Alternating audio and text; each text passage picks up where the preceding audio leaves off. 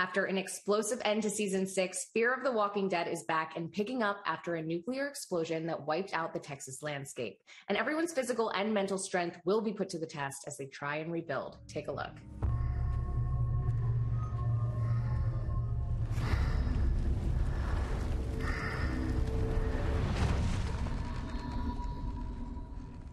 She'll find this place. She'll get through to you. No, she won't. She won't have anything to do with me after this.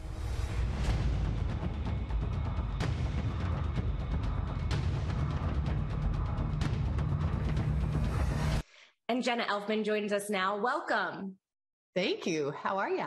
I'm good. Okay, so I, I need to start with the setting of this season. It's dusty, it's lonely, it's hot. So, what was filming this season like compared to others?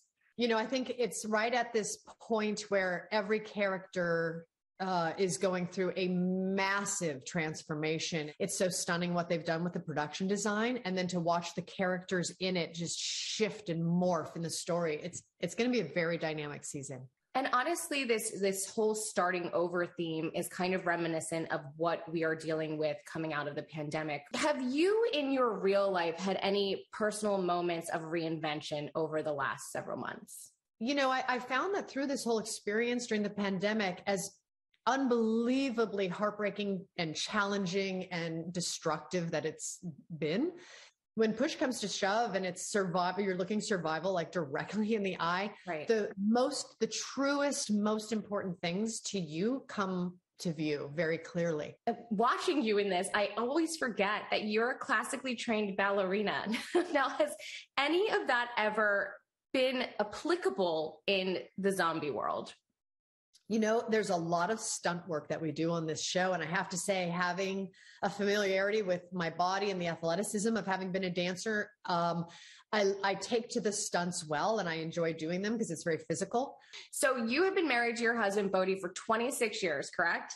So, I stopped counting. That sounds about right. so, especially in Hollywood, that's so impressive. You have two children and a podcast together. So, tell me for those who aren't listening to the podcast yet, what it's all about and what was the inspiration to start doing this? A long time ago, my husband was, you know, we wanted to do a comedy scripted show like about marriage, like curb your enthusiasm, but marriage, you know, right. and the politics of marriage and the male female, uh, all of it.